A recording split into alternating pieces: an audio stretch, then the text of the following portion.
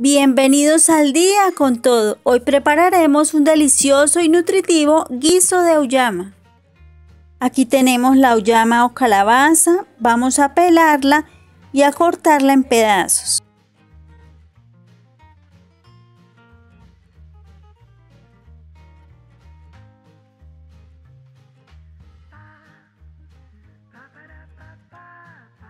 Y la ponemos a cocinar con un poco de sal y agua.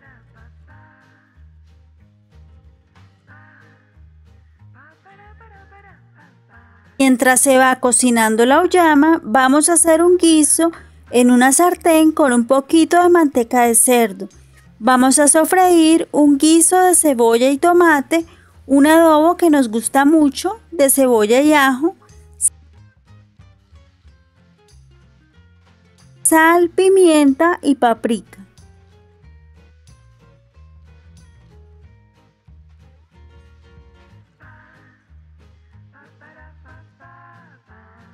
Le añadimos una cucharada de salsa de tomate y un puntico de sal y lo revolvemos muy bien.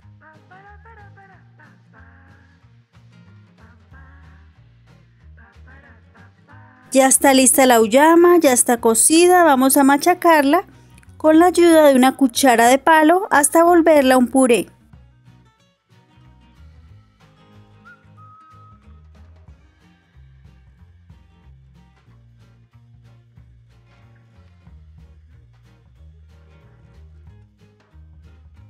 Ahora vamos a agregar la auyama, la revolvemos muy bien para que se integre con el guiso.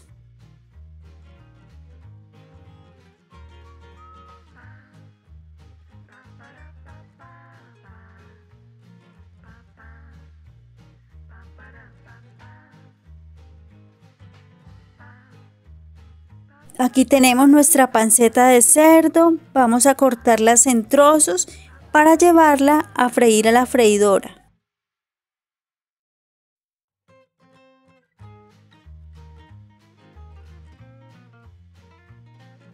Y vamos a poner la freidora en 180 grados durante 15 minutos. Lo volteamos para que se doren por el otro lado y lo llevamos nuevamente a 180 grados por 15 minutos más.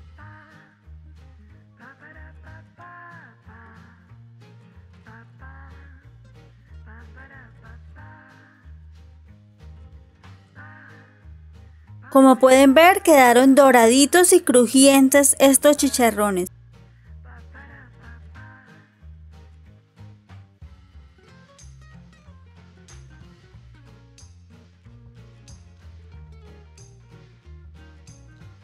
Vamos a agregarle los chicharrones al guiso.